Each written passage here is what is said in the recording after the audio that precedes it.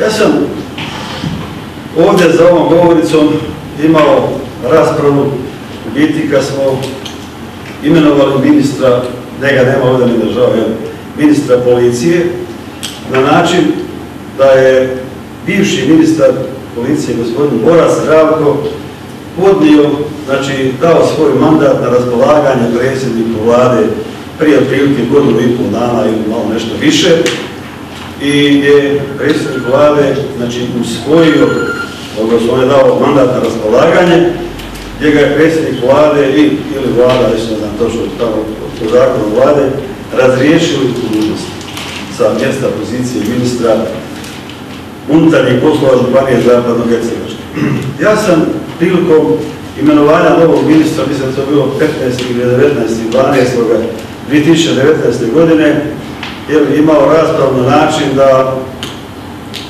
mi nije drago bilo što je razriješen ministar Boras, bez obzira što sam ja imao s njim vrlo žestoke rasprave, nikada na osobnoj razini, uvijek, jeli, kada je u pitanju funkcioniranje MUP-a ili, znači, ono iz djelokruga opisa poslova koji obavlja on i ja, ali, kažem, nikad na osobnoj razini, ni bilo s kim na osobnoj razini. I tada sam bio rekao da smo mi osudili i da je vlada Županije Zapadna Hercegovina, pa i mi ovdje zastupnici da smo osudili čovjeka da je on za nešto kriv. A evo, ministar pravosuđe, znači na čelo presumpcije da znači niko nije kriv dok se ne dokaže, dok se ne osudi da nije pravomoćna, jer i meni je drago da gospodin Zdravko Boras, bivši ministar MUPA, je oslobođen svih tih optužbi na višem sudu ili županijskom, ne znam kako se zove, u Hrvatskoj i da je to jedan znači, častan čovjek koji je radio pošteno i odgovorno svoj posao i hrvatski branitelj. Ja mislim da bi ga mi trebali do predsjedniče vlade, vlade da bi ga trebalo na neki način rehabilitirati i omogućiti čovjeku